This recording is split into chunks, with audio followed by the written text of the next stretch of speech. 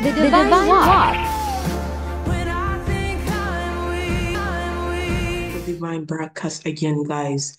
Today's topic, going to talk about generational curse and how to break generational curse. Before we begin, we are going to pray. So let us pray. I know many people are exposed to living with bondage of sin given to them by their forefather. This can continue on for generation until repentance is source. So I'm gonna pray. And if this prayer help, if you want this prayer, just tell me. Let us start. Almighty God, it is for freedom for Christ came. I am redeemed from the curse of the law. I stand firm in this verse and I pray that every generational curse in my alkaline has no power over me. I pray that every curse spoken, written, or transformed to me is broken by the blood of Jesus Christ. Poverty, sickness, and family idol are not my portion. I choose to walk in the freedom that Christ brought for me. In the name of Jesus Christ, I come to humble before you as well, Lord, to confess the sin of my forefather, and I have committed against you. We have not repented Mighty God, we are not to obey your word. As, as a result, we have opened door to reinforce generational curse into our family. Lord, please forgive us of all sin, mighty God. Let us Pledge the blood of Jesus Christ upon our life, mighty God. Jesus, purify us from every sin that has been passed on from generation to generation, mighty God. We break them in the name of Jesus Christ and we shall set free, mighty God. Hallelujah. And also, dear Lord, we thank you for the infinite blessing that's upon us. Your word say that you have adopted us in your family, and therefore I am an Abraham ascendant, and together with Jesus Christ from today and no one, mighty God, I refuse to walk in the curse of my family and choose to walk in the blessing of Abraham, mighty God. I break free from every curse that is passed on, that is spoken over my family, my friends, and even stranger. we cannot, mighty God, let the power of this predict over our life, mighty God. We declare and declare by the blood of Jesus Christ. Every chain of generational curse shall be broken in the name of Jesus Christ. I am a blessing to our loved one, our family, and therefore the works of the hands of God is blessing us when we go in and blessing us when we go out. In Jesus' mighty name, I pray. Amen. Today, we're going to talk about generational curse and as an overview. So, do you have any one in your family, include a past generation, have a pattern of constant failure, have a history of untimely death and suicide, or a large number of people who have died prematurely, exhibited of high level of anger, have a high record of accident or accident that are usual by our nature. And have a history of abuse such as physical, emotional, sexual, have a history of chronic illness repeated and long-term health problem, etc. Have a history of mental illness that have been progressed through generation exhibit any deeds of personal behavior, high control, manipulation, addiction, codependency, depression, unforgiveness, and social isolation, let me tell you, generational curse are passed down like generational trauma. The circumstance of these behavior and trends are passed down from generation to generation until someone break the cycle. People many people are starting to realize that if their mission to break the chain of generational curse in their family, a generational curse is dysfunctional or difficult pattern that family have. The generational curse will continue to travel down the bloodline from generation to generation until someone can recognize, break, and heal it. And the person, parents, not himself, are cause of the a sign of him or her, but the person get punished for the wrong of the parents as well. Such, and this is called generational curse. So because a child is a product of both his or her parent, generational curse can come from both parents. And this can be in the case if each parent has a sin that merit a generational punishment. So the generational curse can basically be called generational punishment. Is the source of generational curse. So generally, curses are not a result of familiar spirit. Some um, fellow believer preach that familiar spirit are a source of generational curse. But I think familiar spirit are discussing and um like how this uh, associated familiar spirit came among like deliverance ministry in very, you know. This is because in regard of generational curse, it is God who said that who visit each generation under his curse at the Exodus 20 verse 5. In it, Exodus 20 verse 5, he said that you shall not bow down to them, idol or worship them, for I, the Lord your God, I'm a jealous God, punishing the children for the sin of the, the father to the third and fourth generation to those who hate me. And that is coming from Exodus 20, verse 5. He said that this is the second commandment, which is idolatry. You know, idolatry is a first. And he did not say that he will assign evil spirit from Satan to do work. The idea of evil spirit bring bringing generational curse is therefore the way half the scripture, but God is therefore this some source of generational curse. The reason why I said that I'm going to tell you the story. No matter which preacher you hear from saying that evil spirit bring generational curse, that he or she speaking, excuse me, you know, if generational issue, genetic, have a bearing a role in our life, it does not mean that they control our life or destiny. It is God who control our life and destiny. And you know, um, he will a certain generational characteristic, good or bad, to be part of our makeup. He then use the mix of these generational characteristics, good and bad, to work to do our good and not to work against us. But secondly, the most important cover aspect of genetic has been illustrated. that Genetic, that is generational characteristics, are not a product of Satan, but the negative aspect are a product of our fallen nature that was corrupted from Adam and Eve sinned. God placed this corruption or fallen nature on us after the fall or, or from our original sin. Satan only influenced us to fall into a corrupted trap and he did not place the fallen nature on us, neither are they generational spirit working behind the scene of in their us, you know? You know, this corruption of our fallen nature take the form of all kind of un desirable characteristics, physical, mentally, socially, and in a different way among different people. None of us is perfect physically, mentally, or socially. No matter the family we may come from, the good characters represent our godly side, where the undesirable characters represent the fallen nature. Sickness, bad personality trend represent our fallen nature. At some point in our life, if we live long enough, we get old, weaker, less attractive, less smart. Do we start fighting Satan as the angelic character begin to set in? Okay. Let me say something as well. I, the Lord, their God, am a jealous God, visiting the iniquity of the father and the children to the third and fourth generation to those who hate me.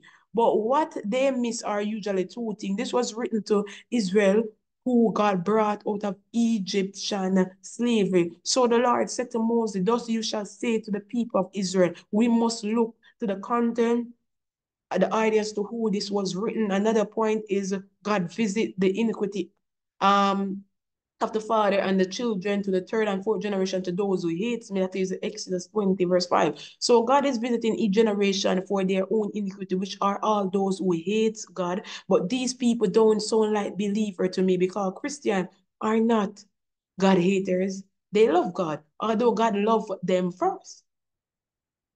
And we can feel they are under generational curse in what the Bible says because it said the son shall not suffer for the iniquity of the father, nor the father suffer the iniquity of the son. The righteousness of the righteous shall be upon himself, and the wickedness of the wicked shall be upon himself. Ezekiel 18, verse 20. So each generation responsible for their own wickedness, just as each individual is on the day of judgment.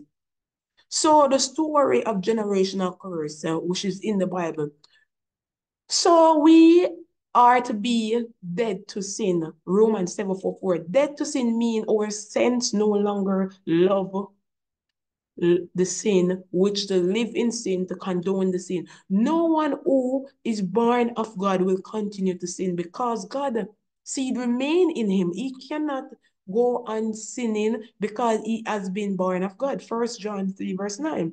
We know that we all come short of the glory of God. For the grace of God that brings salvation and appear to all man is teaching us to say no to ungodliness and worldly passion, to live a self-controlled, upright, and godly life in the, the present age. That is coming from Titus 2, verse 11 to 12. So each of us has a era of wickedness where we'll be fall far much easier than others who is strong in this era. Some here are like, some um era that people can be um weakness in or weak in number one, it can say in dealing with sexual desire, example like Psalms, David, and Solomon. Um, two, a easy money influence Judas. That's coming from Matthew 26, verse 15 to 16.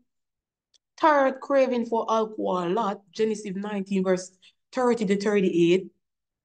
Heartless personality or lack of empathy for the needy yeah, this is an example of the rich man had no empathy for Lazarus.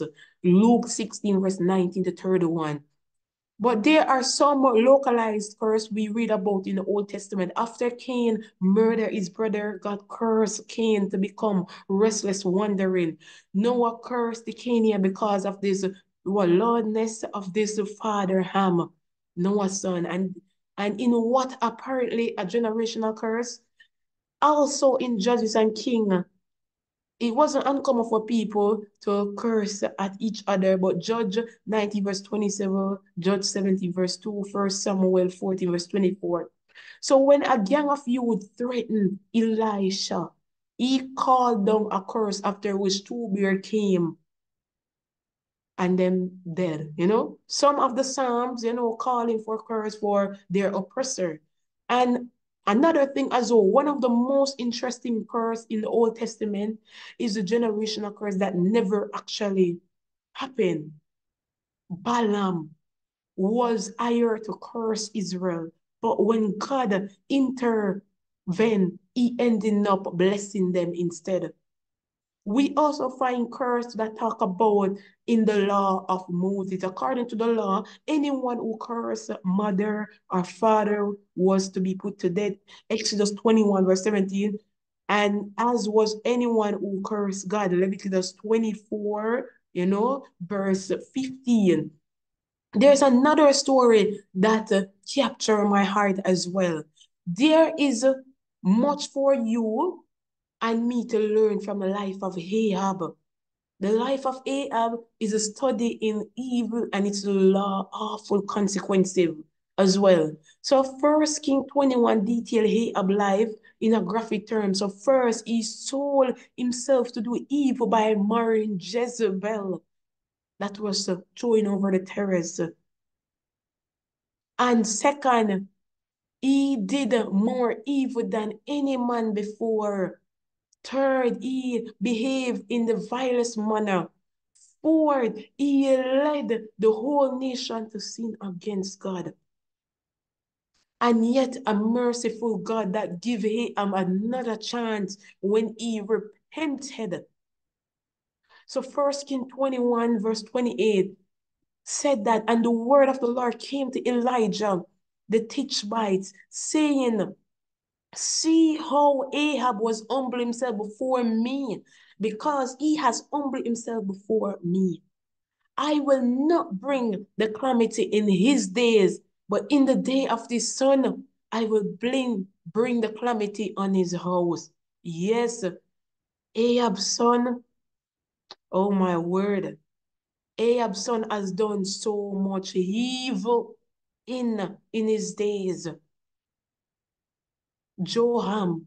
So Joram died in the field of Naboth, but God postponed punishment of the time of Ahab's son because Ahab truly repented. But the son was very evil as well. So he was probably greatly influenced by his wicked mother. And this is what I'm talking about. Sometime our parents' sin that has been passed down has affected your children generation. Okay, there's a list of generational curse. I have a, a whole lot, but I'm only saying some of them.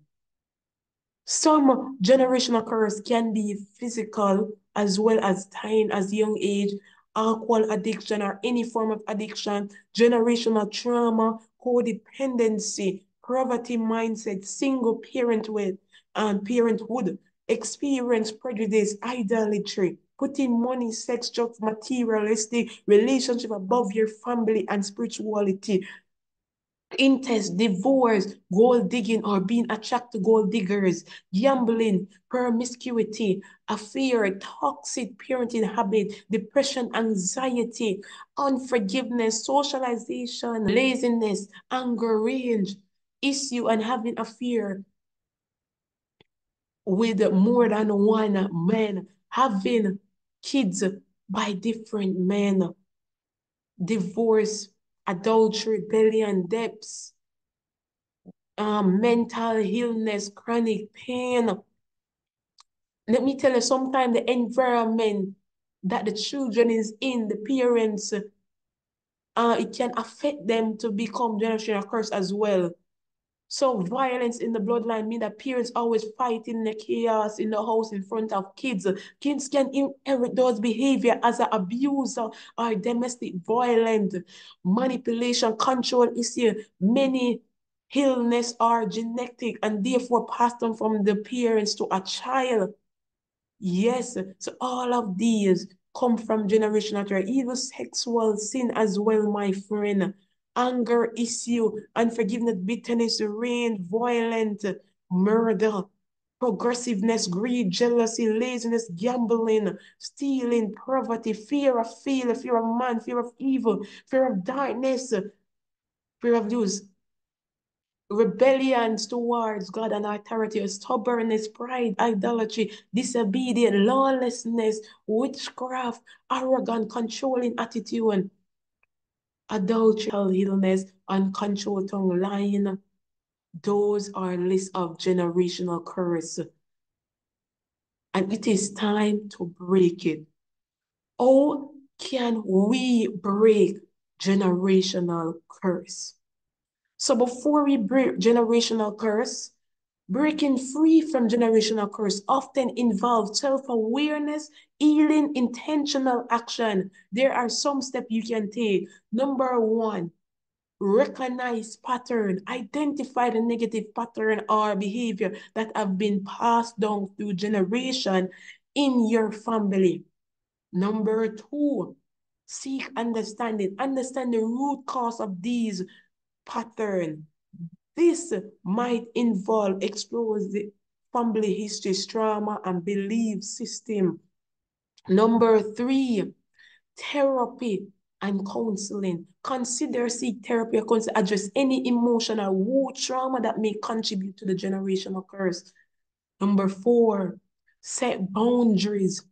Establish healthy boundary with family member who perpetuate negative behavior or belief.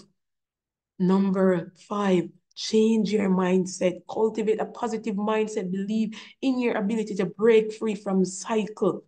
Affirmation, prayer, can be helpful. Number six, create new habit. Intentional develop new habit behavior that align with life you want to create for yourself and future generation. Number seven, connect with support communities. Surround yourself with support friend, mentor, our community group who uplift and encourage your growth. Number eight, forgive and let go. Practice forgiveness towards yourself and others for past mistake or hurt. Letting go of resentment can help break the cycle of negativity. Number nine, live your truth. Embrace the self. Live according to your value rather than living in the past generational curse. Number 10, seek spiritual guidance. Yes, seek spiritual guidance from a spiritual leader. And this can be engaged in prayer, fasting, in your journey toward breaking generational curse. Remember, breaking free from a generational curse is a journey that takes time, patient commitment, the personal growth, and healing yourself. Second method for break free from generational curse involve combination of spiritual practice and personal growth. So here are the steps. Acknowledge the curse. Recognize and acknowledge the existence of generational curse in your family line. This can be the first step toward breaking its power over your life. Number two, repentance. Turn away from your sinful behavior and attitude that may have contributed to the perpetuation of the curse in your family line. Repentance involves genuine reform and committing to change. Repentant, have a repentant heart. Number three, seek forgiveness. Ask forgiveness from God for any sin or transgression committed by yourself or your ancestor that may open up the door to the curse. Number four, renunciation. Verbal renunciate the generational curse. Declare your intention to break free from it influence in your life. This can be done through prayer, scripture, or seeking support of a spiritual leader.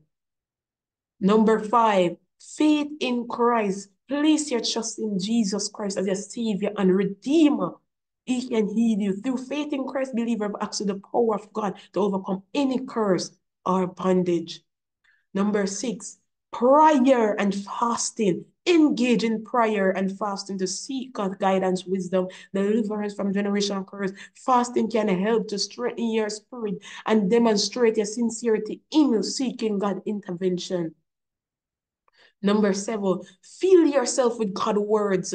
Yes, allow God's words to renew your mind and transform your thinking. Meditate on scripture that affirm God's promise of freedom, healing, and deliverance.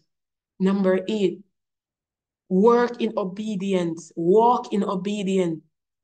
Live a life of obedience to God's commandment and teaching. This info uh, and include living a life of integrity, love, righteousness, which can help to break the cycle of sin and bondage in your family life. Number nine, seek deliverance. If necessary, seek a deliverance ministry as well. Spiritual leader who can help you break free from spiritual stronghold and curses as well, my friend, through prayer.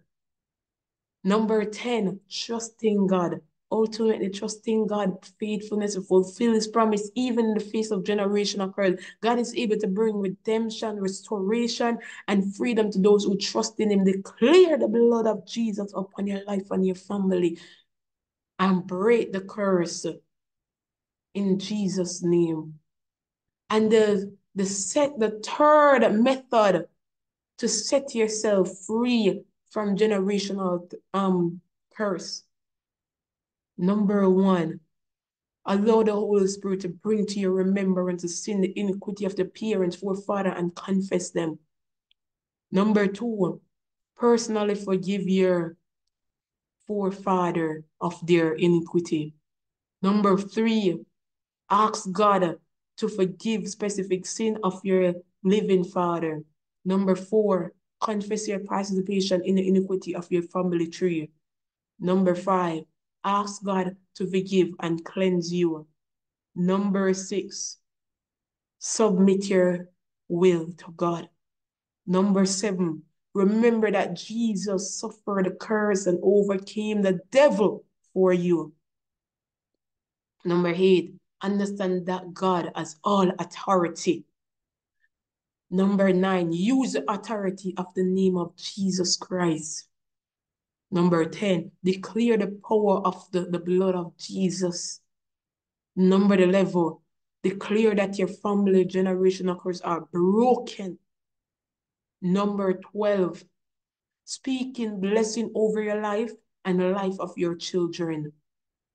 How to break generational curse over your kids. So breaking generational curse from your children life involve the combination of parents, intentional parents practicing, spiritual practicing. So number one, commit to godly parenting. Dedicate yourself to raise your children according to the Bible, the Word of God, godly lifestyle, teach them the Word of God, pray for them regularly. Number two, prayer. Pray fervently for your children. Ask God to break any generational cord that may be affecting their life. Pray against this pattern of this dysfunction or oppression that you see in your family line. Number three, cover them in God's word. Teach your children the scripture. Encourage them to guide or hide God's words in their heart. Help them to understand their identity in Christ, the authority they have as a believer to resist and overcome evil. Number four, create a healthy environment for them. Cultivate a home environment that is characterized by love, peace, fruit of the Spirit. Set boundaries, protect your children from negative influence. Provide them with a safe, nurturing place, space to grow. Number five, model repentance and forgiveness. Be willing to admit your own mistake, ask forgiveness when you fall short as a parent. Demonstrate the importance of repentance and forgiveness in breaking the cycle of sin and dysfunction. Number six, speak blessing over them. Speak positive affirmation, blessing over your children, declare God promise of love, protection, provision in their life. Avoid speaking curse or negative word that reinforce generational pattern or negativity. Number seven, seek spiritual covering. Connect your family with a local church a spiritual environment where children can receive additional support, prayer covering from spiritual leader and fellows believer of Christ. Number eight, disciple them in spiritual awareness. Mean that teach your children about spiritual warfare, equip them with the tool they need to resist temptation, overcome evil, stand firm in their faith, teach them to pray, to put on the armor of God, and rely on the power of the Holy Spirit to lead them in a God-fearing life. Number nine, encourage personal relationship with God. Encourage your children to develop a personal relationship with God through prayer, fasting, worship, daily devotion, help them to cultivate a deep, intimate relationship with the Lord Jesus Christ that will sustain them through life challenge. Number 10, trusting God. Trusting God's severity, faithfulness to protect and guide your children life. Remember that God is able to break every chain and to bring redemption and restoration in those who trust in Jesus Christ.